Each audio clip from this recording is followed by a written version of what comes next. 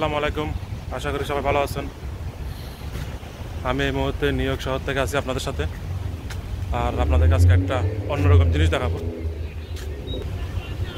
এইটা হলো একটা অ্যাপার্টমেন্ট বিল্ডিং।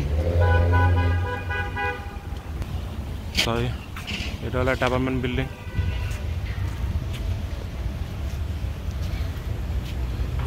আর দেখুন এই বিল্ডিংয়ের নিচে কিছু কাগজ চোপড় সাজিয়ে রাখা হয়েছে।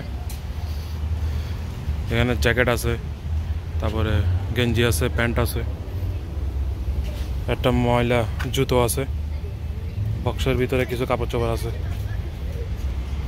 তো এখন এইসব দেখে কি বুঝলেন? নিশ্চয় এগুলা এই বিল্ডিংয়ে যারা থাকে তাদের কারও হবে। কারণ এভাবে তো বিল্ডিংয়ের সামনে কেউ কাপড় চোপড় রেখে যাবে না। তো এখানে যারা থাকে এই বিল্ডিংয়ে তারাই এই কাপড় চোপড়গুলো এখানে রেখে দিছে।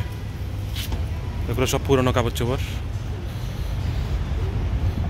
গেঞ্জি দুটো দেখতে চলে মন- নতুন মনে হচ্ছে। একদম ফ্রেশ বাট বাকিগুলো একদম দেখলে বোঝা যায় এগুলো ইউজ করা।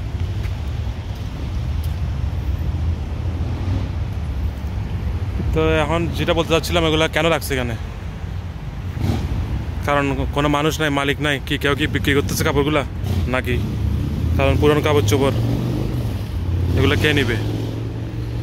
হ্যাঁ নেওয়ার অবশ্যই মানুষ আছে। যারা আমার মতো এরকম হেঁটে যাবে, চোখে পড়বে, তারা আস্তে করে একটা একটা হোক, দুইটা হোক, নিয়ে যাবে।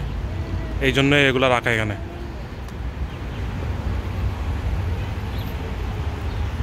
তো এইভাবে বিভিন্ন সময় বিভিন্ন জায়গায় এরকম বিল্ডিংয়ের সামনে বাসা বাড়ির সামনে যারা তাদের পুরনো কাপড় চোপড় আছে আর অন্যান্য জিনিসপত্র আছে, এগুলো ব্যাপারে রেখে যায়। কারণ ওরা চায় না যে এগুলা মানে ডাস্টবিনে ফেলুক বা গার্বেজ করুক। চাই যে যে যারা পড়তে পারে না, যাদের কাপড় চোপড় নাই হোমলেস তারা যাতে এগুলো নিয়ে যেতে পারে। এই কারণে এগুলো রাখা। আবার মাঝে মাঝে কিন্তু আছে এগুলো আবার সেলও করে। যারা বাসার সামনে থাকে বিল্ডিংয়ের সামনে থাকে মানে বিল্ডিংয়ের সামনে খোলা স্পেস থাকে, ওখানে এসে তারা বসে আবার। সেল করে এগুলা। তো এরকম মাঝে মাঝে দেখা যায়।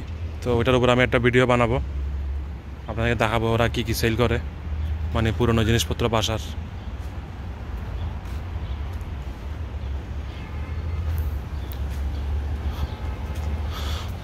কারণ এটা আজকে হলো শনিবার শনিবার, রোববার হলেও মানুষ মানে এরকম বাসা বাড়ির সামনে জিনিসপত্র রেখে সেল করে মানে স্যাটারডে সানডে মানুষজন যখন কাজ থাকে না, ছুটি থাকে স্পেশালি স্যাটারডে সানডেতে সবার ছুটি থাকে।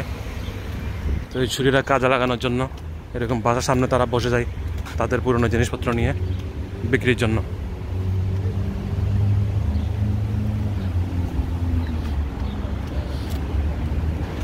তো এই জন্যই আসলে এই ভিডিওটা আপনার সাথে শেয়ার করলাম।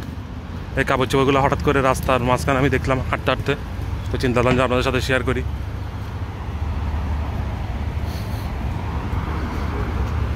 তো আজ পর্যন্তই। আশা করি সবাই ভালো থাকবেন। আল্লাহ হাফেজ।